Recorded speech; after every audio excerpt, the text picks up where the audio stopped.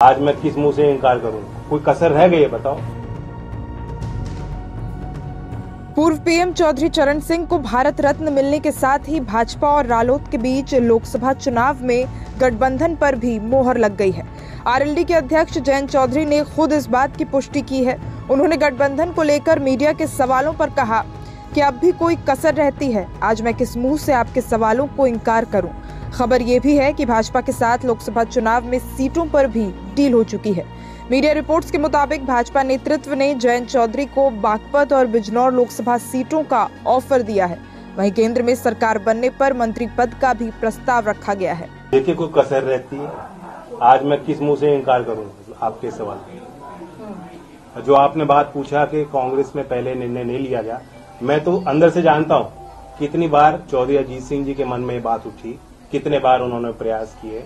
बहुत मुश्किल से फिर एक बड़ा अच्छा कदम लिया गया था यूपीए टू के टाइम कि लखनऊ उस समय अमौसी एयरपोर्ट था। वहाँ चौधरी साहब की प्रतिमा विशाल प्रतिमा लगाई गई और उसका नाम कर, नाम बदला गया। चौधरी चरण सिंह जी के नाम से आज वो एयरपोर्ट है।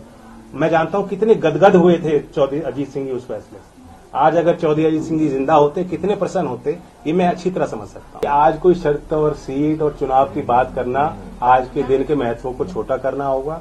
ये दिन ये पल बार बार नहीं आते और इस जश्न में सब लोग शामिल हैं। बीजेपी से सर दूरियाँ कम हो गई है इस बात को मान रहे हैं हम लोग। जब मैं इतनी बड़ी बधाई दे रहा हूँ प्रधानमंत्री जी ने आज वो फैसला लिया जो साबित करता है कि देश के मूल भावना और चरित्र को समझते हैं। चौधरी चरण सिंह जी के हरेक अनुयायी के दिल को जीतने का काम आज मोदी जी ने किया मैं अपनी एक भी ट्वीट डिलीट नहीं करूँगा। जिस समय पे मेरी भावना होती है उस अनुरूप परिस्थितियों के अनुरूप अपनी बात रखता हूँ। और मैं कहता हूँ राजनीति में जो विपक्ष बात कहता है उसे भूल जाना चाहिए। जो सरकार बात रखती है उसे याद रखना चाहिए। सर सर जब आप घोषणा कर चुके हैं कि आप एनडीए के साथ अब जा रहे हैं। नहीं आज एनडीए की मैंने कोई घोषणा नहीं की है। मैं सिर्फ़ मैं- तो रही नहीं है। हाँ कसर तो कोई कसर रह गई है बताओ। इतना बड़ा फैसला लिया तो हो ऐसे में अगर आप सीटों के बारे में भी चर्चा कर ले तो। मैं कहा, सीटों की कोई बात ना मैं आपके साथ करूँगा, ना मैं किसी प्रधानमंत्री या सरकार में शामिल लोगों के साथ बैठ कर करूँगा, बीजेपी के किसी व्यक्ति के साथ नहीं करूँगा। आज तो मैं उनको धन्यवाद देता हूँ। राष्ट्रीय लोक दल और भाजपा पहले भी 2009 के आम चुनाव में साथ मिलकर चुनाव लड़ चुके हैं। अब आरएलडी को पाँच सीटें मिली थी, लेकिन 2014 और 19 में अलग होकर इलेक्शन लड़ने पर खाता तक नहीं खुल सका था।